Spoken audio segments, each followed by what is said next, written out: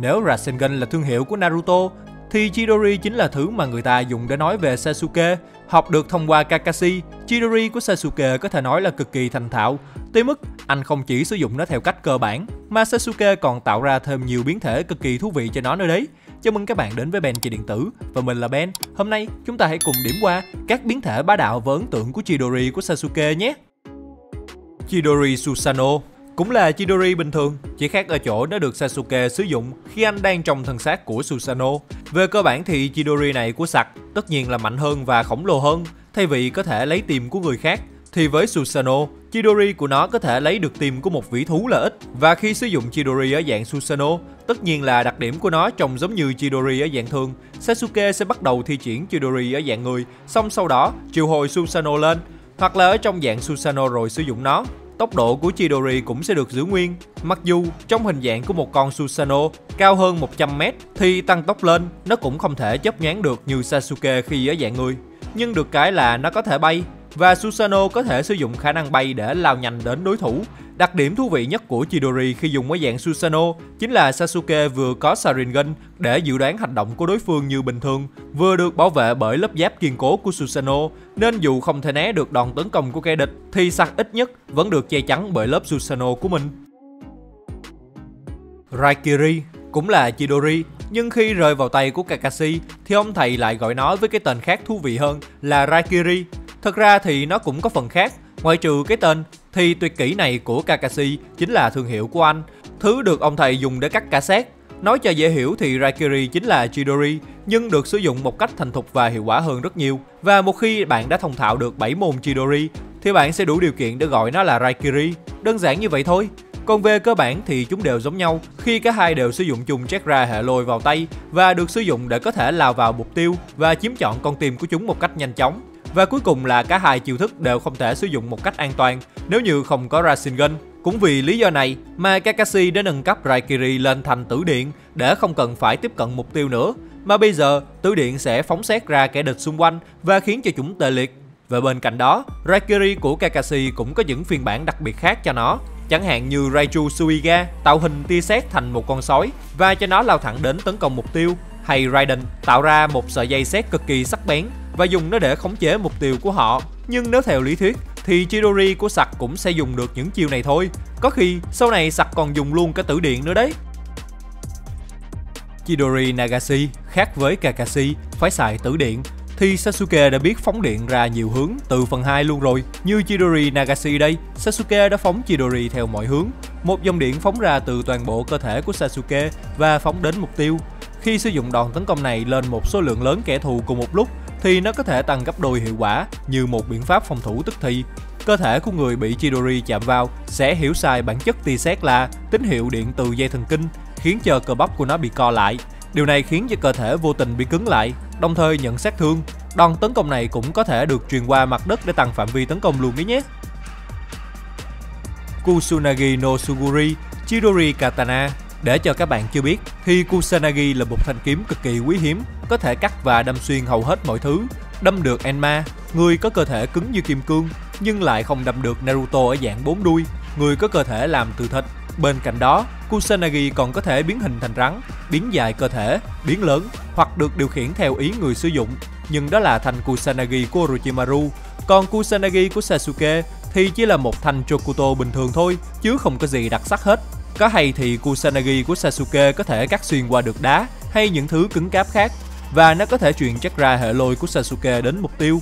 Bên cạnh đó, nhờ việc truyền chakra hệ lôi vào kiếm của mình, Sasuke cũng có thể làm tăng tốc độ sắc bén của thanh Kusanagi lên đáng kể, tương tự như dao chakra của Asuma vậy. Và khi đó, lưỡi kiếm của Sasuke có thể giúp anh chàng cắt xuyên qua bất cứ thứ gì, tương tự như việc truyền chakra vào thanh Kusanagi. Sasuke cũng có thể làm điều tương tự khi sử dụng Chidori trong lúc cầm thanh kiếm. Cơ bản thì thay vì tạo Chidori lên cánh tay và đâm tay mình vào mục tiêu, Sasuke sẽ tập trung chakra hệ lôi vào lưỡi kiếm và biến thanh kiếm trở thành Chidori. Khi sử dụng Chidori theo cách này, đòn tấn công của Sasuke có thể nói sẽ cực kỳ mượt vì nó không bị ngăn cản bởi bất cứ thứ gì nhờ uy lực của Chidori.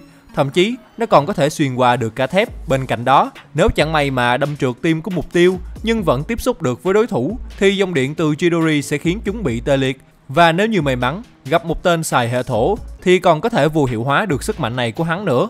Tuy nhiên, cái gì cũng có mặt tối của nó. Khi sử dụng Chidori kết hợp cùng với thành Kusanagi, nếu chẳng may gặp phải một kẻ cũng sử dụng Chakra hệ lôi và cũng dùng kỹ thuật y chang như vậy, thì chiêu thức của Sasuke sẽ hoàn toàn bị hóa giải. Chidori Eiso Đối với Kakashi, phải chuyển qua xài Siden thay thế Raikiri vì không còn Sharingan để dự đoán hành động của đối thủ nữa. Khả năng điều khiển và định hình chakra của Sasuke có vẻ đã ở cái tầm thượng thừa khi anh chàng có thể dễ dàng điều chỉnh và định hình nó, trong khi nó vẫn còn là Chidori. Và vì Sasuke đã thông thạo kiếm thuật, nên đây có vẻ như là một phương pháp thay thế cực kỳ tuyệt vời nếu như anh chàng lỡ làm rơi kiếm ở đâu đó. Chidori ban đầu là dạng kiểm soát chakra, và rồi sau khi thêm một chút lực đẩy cùng với khả năng định hình, Sasuke đã có thể chuyển hóa Chidori từ hình tròn thành hình dạng thon và dài hơn và có thể điều khiển rồi phóng nó đi trong phạm vi 5 mét. Về cơ bản thì nó cũng là Chidori, nhưng nhờ việc gia tăng phạm vi tấn công xa hơn, nên khi sử dụng Chidori Eso, sự rủi ro thu về sẽ không nghiêm trọng như Chidori bình thường, ngay cả người dùng có xài Sharingan hay là không. Với tốc độ cực nhanh ở cự ly gần, có thể dùng Chidori Eso như một khẩu súng tầm gần, dùng để tấn công bất ngờ hoặc bắt giữ mục tiêu của bản thân. Và đó chưa phải là hết, vì sau khi đâm trúng mục tiêu bằng Chidori Eso, Sasuke còn có thể thay đổi hình dạng của ngọn giáo thành nhiều kiểu khác nhau, như nhiều lưỡi kiếm để khiến vết thương của mục tiêu trở nên nghiêm trọng hơn, hoặc mở rộng kích thước ngọn giáo để cắt đứt cơ thể của chúng từ trong ra ngoài. Và trong trận World 4, Sasuke đã sử dụng chiêu này để cắt đôi cơ thể của cụ ma ở dạng Jinchuriki thập vĩ đấy. Cũng giống với đòn Chidori lúc nãy, Chidori Eso cũng có thể sử dụng kết hợp cùng với thanh Kusanagi. Chidori Senbon Trước khi nói về chiêu thức này thì chắc hẳn các bạn còn nhớ đến những thuật ngàn mũi kim của Haku rồi đúng không? Nếu mình đoán không lầm thì có lẽ Sasuke đã lấy ý tưởng từ những thuật này đấy. Lấy thêm một đỉnh cao khác của việc thay đổi hình dạng chakra của Sasuke, anh chàng đã tạo ra biến thể này bằng việc biến chakra thành vô số những lưỡi kim hệ lôi và bắn chúng liên tiếp vào mục tiêu của mình. Chakra sử dụng càng nhiều thì số lượng mũi kim được phóng ra càng lớn và độ nguy hiểm của nhẫn thuật này nằm ở việc Sasuke có thể sử dụng nó cùng lúc với Sharingan để có thể bắn vào những chỗ trọng yếu của mục tiêu để tăng độ chính xác và thương tổn lên rất nhiều. Và sau trận World 4 khi Sasuke đấm nhau với Naruto, Sasuke nhờ thu được chakra từ chính vĩ thú, Susanoo của anh chàng đã có thể tạo ra được các mũi kim lớn để có thể thổi bay những bom vĩ thú đã được bơm thêm tiên thuật của Naruto. Và để so sánh với Chidori Eso lúc nãy, thì mình sẽ đánh giá cao cách sử dụng này hơn vì phạm vi tác động của nó tới tận 10 mét lận. Nhưng nhìn số lượng mũi kim được bắn ra thì chắc là lượng chakra sử dụng cũng khá là hào đấy nhỉ. Chidori Kagusuchi, sẽ thế nào nếu như Chidori kết hợp với Amaterasu, thì nó sẽ có hình dạng như thế nào không? Như thường lệ thì Chidori được tạo ra bằng cách tập trung chakra hệ lôi vào lòng bàn tay, rồi công kích đối phương nhưng khi bạn xem lại trận chiến cuối cùng giữa Naruto và Sasuke thì bạn có thể thấy Chidori của Sasuke đã được nhồi thêm một ít Amaterasu vào và ten ten chúng ta có một cục sấm sét có thể đốt cháy mọi thứ cho đến khi thứ đó hoàn toàn bị thiêu rụi. Thực ra thì mình nghĩ rằng chiêu thức này nó sẽ phù hợp để làm màu hơn vì thứ nhất chính là Chidori là một chiêu thức one hit one kill, chỉ cần đánh trúng đối thủ là đối thủ sẽ tự chết mà không cần phải lê thê làm gì. Và thứ hai, tích tụ Amaterasu vào và biến nó trở thành Kagusuchi chỉ khiến cho người sử dụng tốn thêm chakra mà thôi. Tuy nhiên tạm thời bỏ qua mấy cái hạn chế của nó thì đây là một chiêu thức vô cùng hoành tráng và nó cũng ra trò đấy đúng không? Thêm Amaterasu vào không phải là không có lợi ích.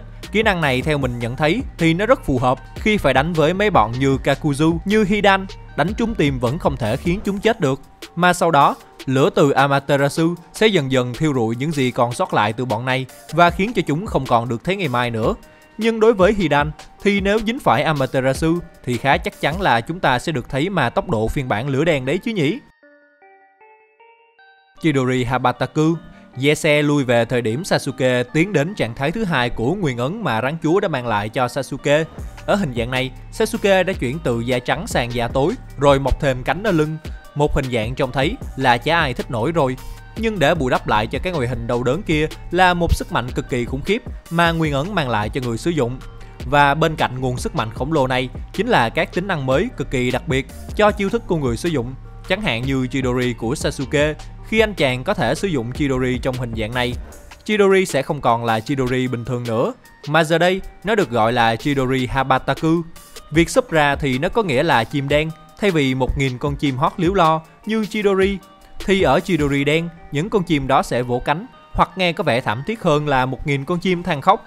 Cơ bản thì nó cũng giống Ishiduk những Chidori bình thường, chỉ khác cái là màu của Chidori lúc này sẽ sẫm hơn mà thôi, hắc điện và cũng nhờ đến nguyên ấn. Nếu Sasuke sử dụng Chidori khi đang ở trạng thái đầu tiên thì Chidori sẽ có màu tím. Chidori lục đạo và cuối cùng chắc chắn chính là cái Chidori hoành tráng nhất và mạnh nhất mà Sasuke từng sử dụng. Chắc là vậy, vì Chidori này còn được gắn thêm hai chữ lục đạo vào. Lúc này, Chakra tạo ra Chidori không còn là Chakra hệ lôi bình thường của Sasuke nữa, mà nó trở thành một dạng nâng cấp hơn, cao cấp hơn khi có thêm Chakra của lục đạo vào. Lúc này Chidori đã được nâng cấp lên thành một đẳng cấp mới, gọi là Dark Chidori, có sức mạnh và độ công phá, tất nhiên là gấp nhiều lần Chidori bình thường. Và trong trận World 4, lần đầu tiên Sasuke sử dụng Dark Chidori chính là để cùng phối hợp với Naruto để cùng tấn công Madara khi họ tranh thủ thời gian các luân mộ của Madara và hợp nhất lại với hắn. Và bên kia khán đài, Madara cũng đã nhận ra rằng cụ không thể coi thường tên nhãi Uchiha này nữa, nhưng đã quá trễ khi Naruto sử dụng từ độn Rasengan khi kết hợp cùng với Sukaku để giữ Madara lại. Còn Sasuke sẽ dùng Chidori lục đạo mới kèn của mình để khiến Madara không thể làm được gì nữa. Nhưng thật xui xẻo, khi tưởng chừng như đã có thể đánh bại được Madara, thì cụ ông đã dùng Limbo để thế thần cho mình, còn ông ta thì giọt lẹ. Tuy là đã thất bại, nhưng có lẽ như Chidori lục đạo đã không thể kết liễu được Madara ngay lúc đó, nhưng các bạn cũng phải công nhận rằng đó là một pha kết hợp cực kỳ hoành tráng giữa hai nam chính nhà ta đúng không? Cảm ơn các bạn đã theo dõi kênh của mình. Nếu xem đến đây thì ngại gì mà không để lại một like, một đăng ký giúp mình và share video để ủng hộ mình nhé. Và cũng đừng quên để lại bình luận của các bạn ở phía bên dưới nhé. Và hẹn gặp lại mọi người trong video tiếp theo của mình. Tạm biệt.